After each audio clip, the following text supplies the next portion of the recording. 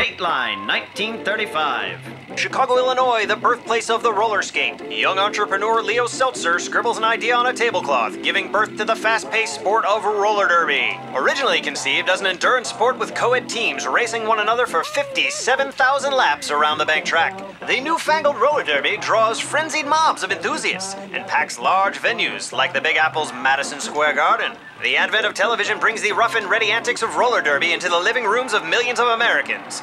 By 1960, roller derby evolves into a full contact team sport with a scoring system and bone rattling hits. The 70s bring an economic downturn for the good old US of A, and roller derby takes a hit, and hard. Interest in the sport wanes, and by the mid 1970s, roller derby rolls into the history books.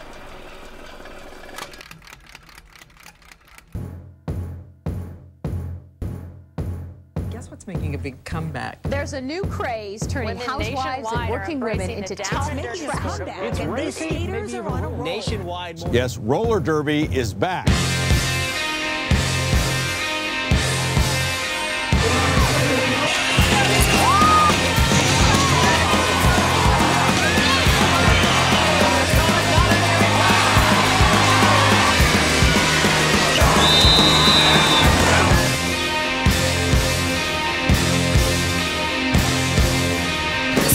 way farther than what we even thought a year and a half ago. You've overstepped your boundaries and the amount of respect you give your skaters. I'm feeling taken advantage of by how much ranking we get. We want to restructure the leadership of roller derby. We are going to give them 24 hours to sign. I would never sign that. If they don't sign, we are leaving their company. Do you honestly think that we're going to stop because you decide you want it? This whole fucking thing that we were pulling off, they fucking blew wouldn't believe how big the Detroit roller derby